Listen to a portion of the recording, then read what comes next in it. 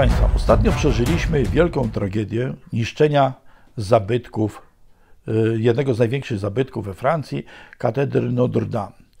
Nie będę się wdawał w szczegóły, ale cała akcja prowadzona przez strażaków Paryża pod przewodnictwem pana prezydenta wyglądała na wielką amatorszczyznę. Na początku stacje telewizyjne pokazują tylko jeden, jedyny wóz strażacki. Przecież katedra była zbudowana na wyspie. Woda dookoła. Nie było problemu, żeby rozpocząć gaszenie od samego początku. Muszę się cofnąć do historii. Otóż tak zwana rewolucja francuska w 1789 roku była przeprowadzona według planu i pieniędzy City of London Corporation. 10 tysięcy żebraków z Belgii ruszyło na Paryż i wywołało te zamieszki, między innymi to zdobycie rzekome Bastylii, kiedy tam był jeden staruszek i chyba kilkunastu tylko e, strażników i jeden więzień w środku. Chodziło o po prostu rozpoczęcie zamieszek. E, dlaczego o tym wspominam? Ano dlatego, że państwo przejęło wszystkie kościoły e, Francji i państwo jest odpowiedzialne za utrzymanie ich stanu technicznego i y, jakości, czyli innymi słowy, y, zapobieżenie katastrofom budowlanym na przykład.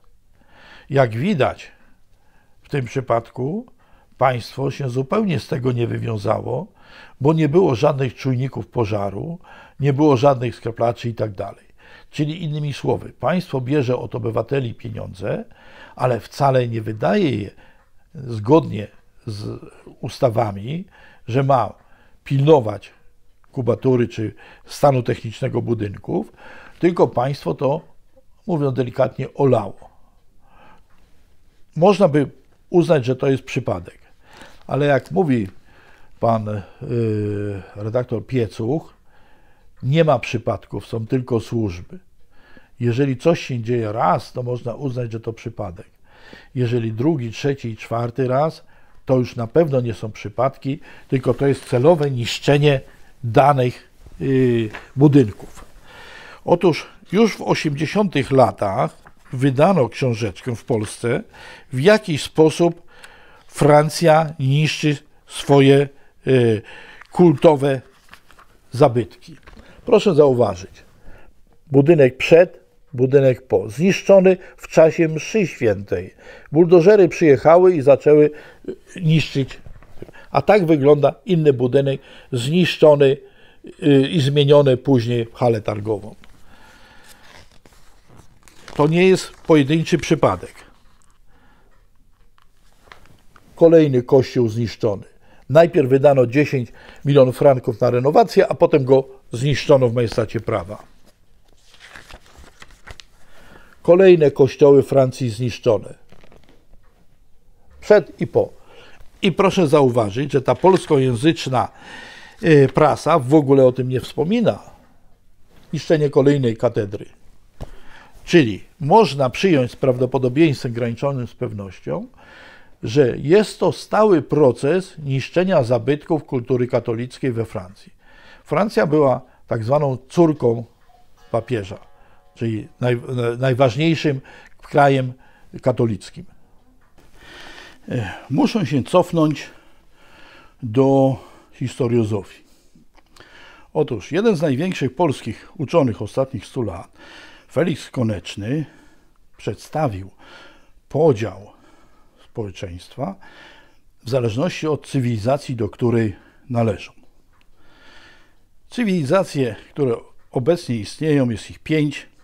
To jest właśnie łacińska, oparta na katolicyzmie, następnie żydowska, turańska, yy, hinduska czy yy, chińska.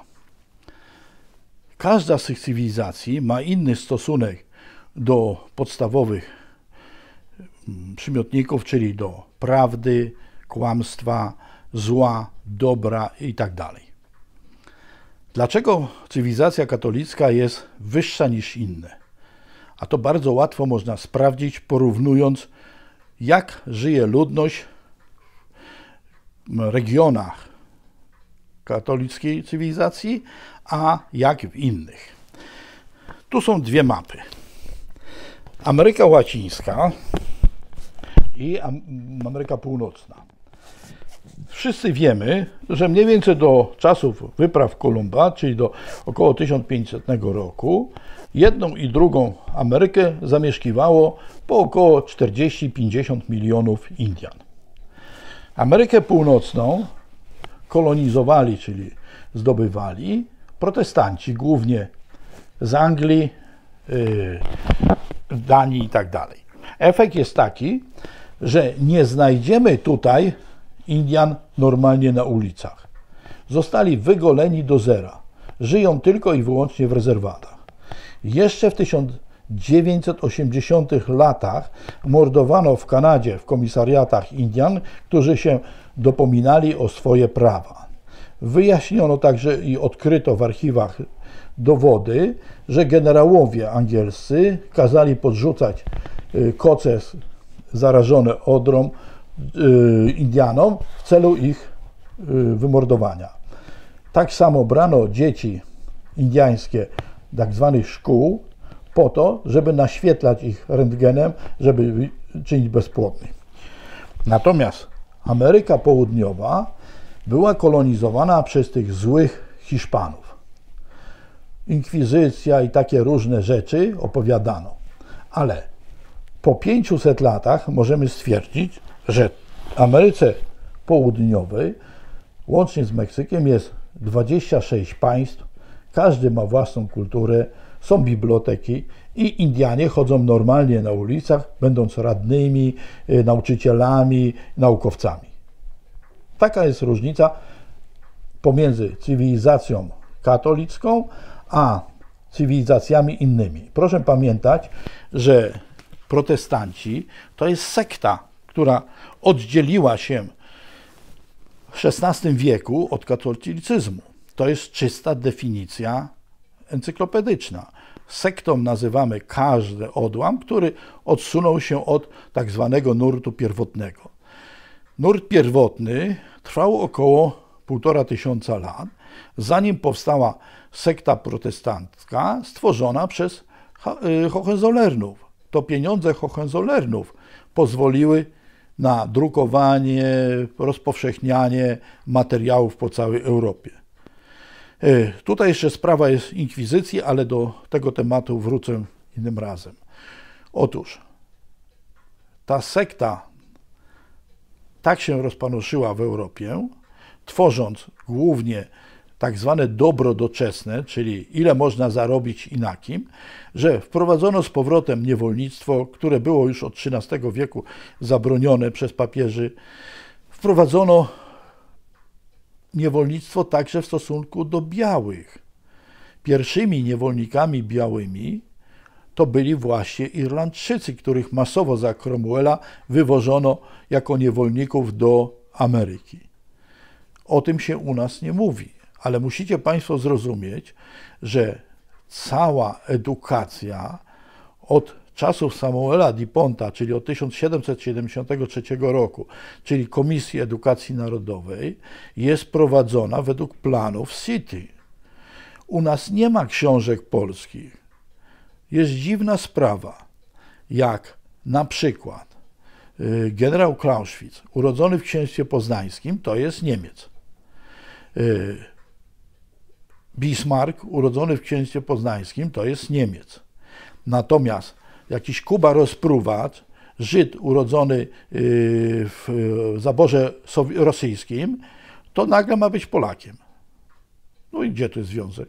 Miał paszport y, rosyjski, moskiewski, a narodowości były żydowskie. Jaki on ma związek z Polską? Ale tak właśnie się ogłupia Polaków. Nieważne, gdzie, tylko w zależności od tego, co robił Ciołkowski. Ciołkowski był synem ze Słońca, czyli Polakiem. Nie, to jest wielki uczony yy, sowiecki. Robert Koch, urodzony w księstwie poznańskim. Nie, to jest wielki uczony niemiecki. Proszę zauważyć. W ten sposób się postępuje cały czas, dlatego że edukacja jest prowadzona przez siły zewnętrzne.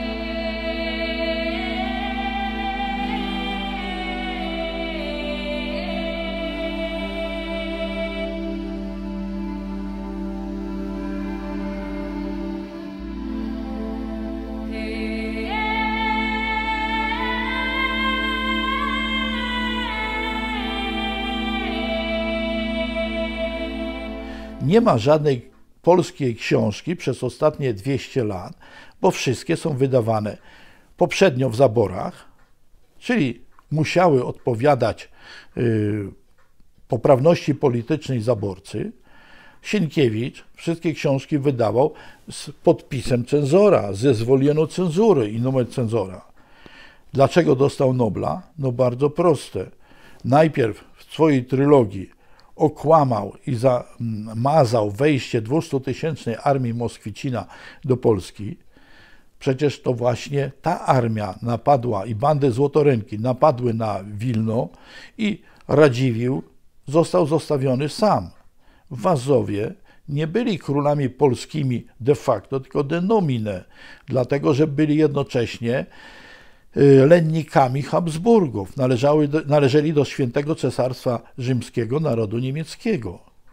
Te wojny, których nas wpętano w Turcją, to była właśnie y, akcja Skorpiona, czyli odwrócenie uwagi Imperium Osmańskiego od najazdu na Europę Zachodnią i skierowanie tego najazdu na Polskę. My na tym tylko traciliśmy. Bitwa pod Lepanto, w której Turcy spotkali się z Zachodem, y, dla nas była zyskiem sprzedaży 60 tysięcy szabel.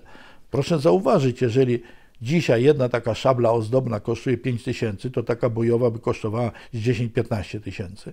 Razy 60 tysięcy, jaki to był zysk dla państwa?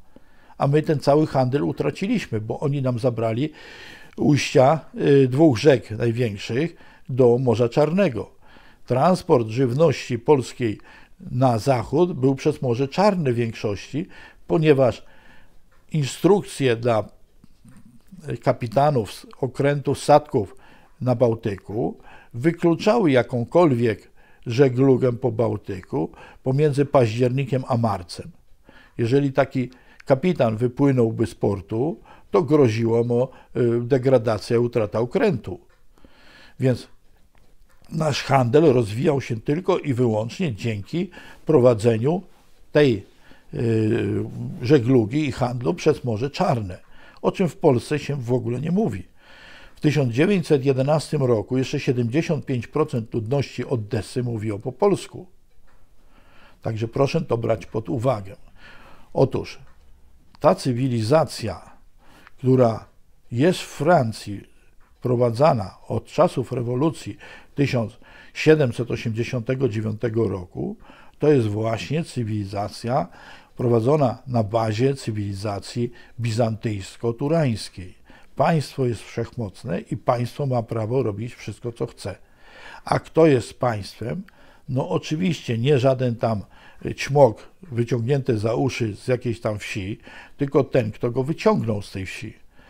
Proszę wziąć pod uwagę, że poziom intelektualny w tamtym czasie był bardzo niski w większości ludzi tylko jednostki. We Francji było tylko około 2-3% inteligencji. Dopiero potem zaczęło się to tworzyć, ale zawsze zależało od tych u góry. Na czym polega problem? Problem polega na tym, że państwo przejmując poszczególne role yy, instytucji rządzących, przejmowało także Kościół. Najpierw ukradło wszystkie budynki, zabudowania klasztorne i y, domy, rzekomo pod pretekstem, że będzie się opiekowało tymi domami, a potem sprowadziło się do tego, że księża we Francji są normalnymi urzędnikami państwowymi i dostają pensję tak jak zwykły cieć, yy, że tak powiem, pilujący stodoły. Yy, oczywistym jest, że ci księża na dole, czyli na wsiach, na w miasteczkach, dostają pensje od samorządów, czyli to są niskie wynagrodzenia. Trudno z tych pieniędzy własnych utrzymać kościół, a państwo się nie wywiązuje z opieki nad kościołem. Przechodząc do pożaru katedry Notre Dame. Otóż każdy jako tako zorientowany człowiek wie, że zabytki, szczególnie tego typu, nie leje się wodę, tylko stosuje się pianę albo dwutlenek węgla w celu odcięcia dostępu powietrza.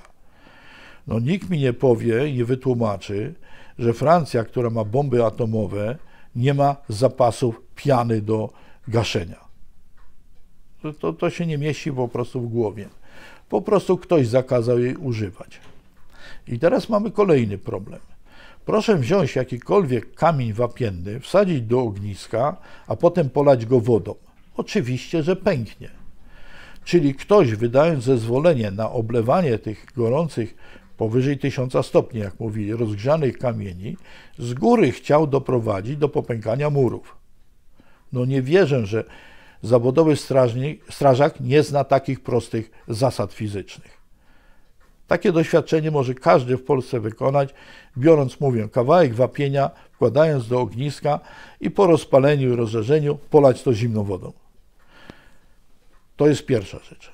Można było tam spokojnie zastosować pianę, bo w ten sposób nie doszłoby do zniszczenia tych wszystkich zabytków, artefaktów, które były zgromadzone w tej katedrze. Problem polega na tym, że wyraźnie widać, że to było celowo robione, ponieważ niektóre informacje docierające do Polski wskazują, że już na dwa dni przed pożarem co cenniejsze relikwie zostały wyniesione do Muzeum w Louvru.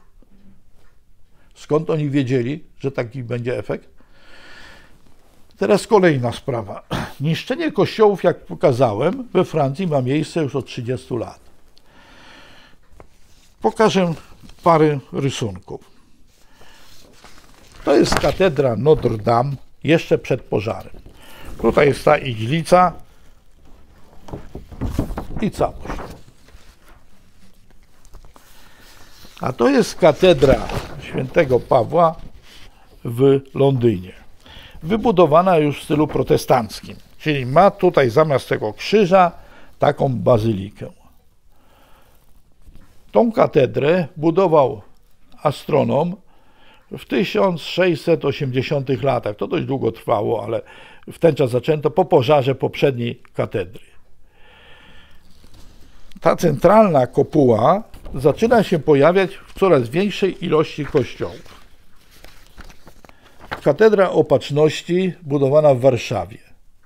Znowuż centralna kopuła, a projekt powstał podobno w 1790 roku, czyli w tym samym okresie, kiedy budowano katedrę e, świętego Pawła w e, Londynie, którą budowali przecież e, City of London Corporation. Podobnie wybudowana została katedra w Toruniu. Także kopuła centralna już nie ma nawy głównej naw bocznych, tylko zmieniono na kopuły.